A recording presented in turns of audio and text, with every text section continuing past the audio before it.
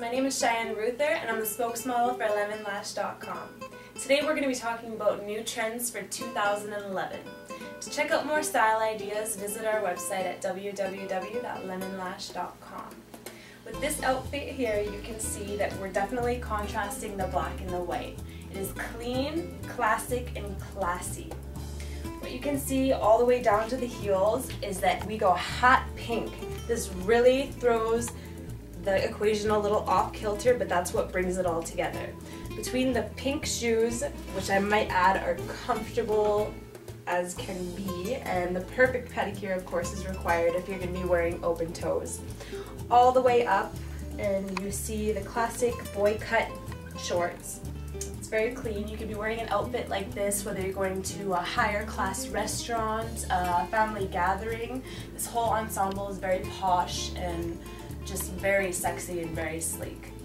Uh, this shirt I absolutely love. It gives you a chance to show your collarbones and your kind of neck angles. It's very sexy without showing too much skin and very classy. You can have your hair down or your hair up. Um, it gives you a chance with a, a, half shoulder like this, which is absolutely coming back in style. You see them on runways, you see them on the street. The half is the way to go right now.